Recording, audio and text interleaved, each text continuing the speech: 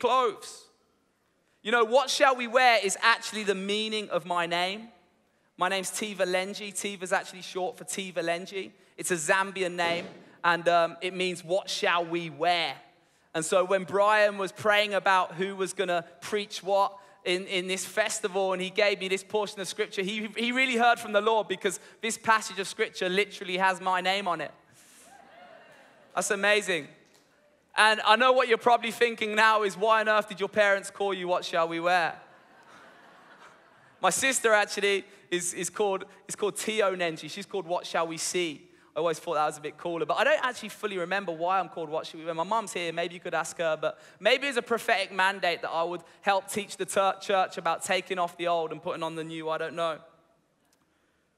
But for those of us who have heard the voice of Jesus and are being taught by him, like verse 20 says, and have got this new life with him, this eternal Zoe life, this, this wonderful fullness of life, this adventure that we have walking with Jesus, there is a change of clothes that is required.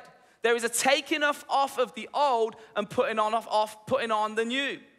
And that old is a load of attitudes and thoughts and practices and, and paradigms that we used to walk in before we heard the voice of Jesus calling us out of darkness and into his glorious light. And when Paul says take off the old and put on the new, what he's actually saying is we need to act it out. We need to make it visible to the watching world around us. He lists out the new, the new clothes in Colossians chapter 3, verse 12. He says, Clothe yourself with compassion, kindness, humility, gentleness, patience, and so forth. Bind it, love, and put on love that binds it all together in perfect harmony.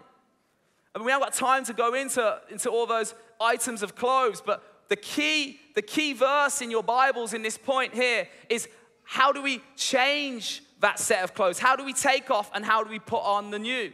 And the key verse is verse 23 in Ephesians 4, and it says, We need to be made new in the attitude of our minds. It's the renewing of our minds. We need to fill our minds with the truth of God's word his power, His promises. We need to read it, eat it, sleep it, drink it. We need to meditate on it. We need to declare it. We need to sing it. We need to claim those promises, like Sarah talked about. And we need to fix our minds on the realities of who God is and who God says we are in Christ Jesus.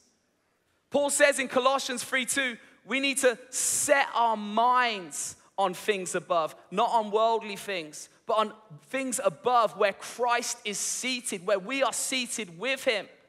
Paul says we fix our eyes not on what is seen, but what is unseen, for what is seen is temporal and what is unseen is eternal. You know, Carl Beach talked about how, how, how career and comfortability and cars and all of that stuff can so easily derail us and distract us from living from that place of being positioned with Christ in those heavenly realms. And our old nature, our old set of clothes, which Paul tells us to take off in this passage, are deceitful desires. They are out to deceive us on a daily basis. And unless we're filling our minds with truth, we are susceptible to the deceit of our old nature. Lies and deceit can only grow in the absence of truth. And so we need to fill our minds with the truth of God's word.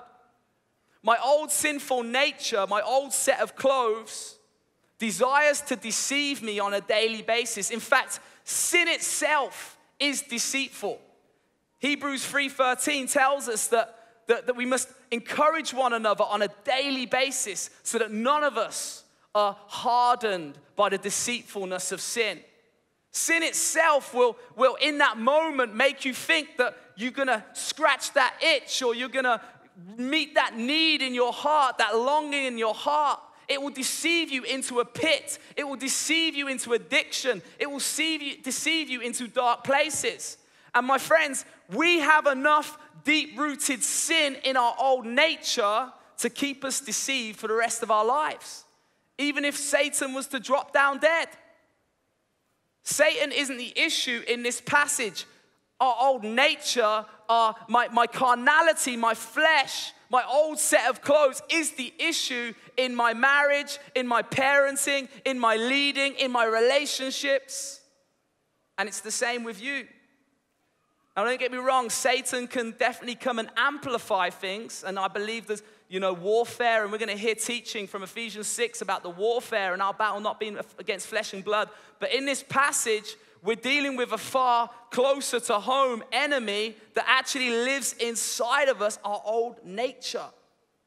You know, Galatians 5:17 says that we are actually walking conflict zones, that we have a battle going on inside, that our old nature and, and the Spirit of God who lives inside of us are in constant conflict.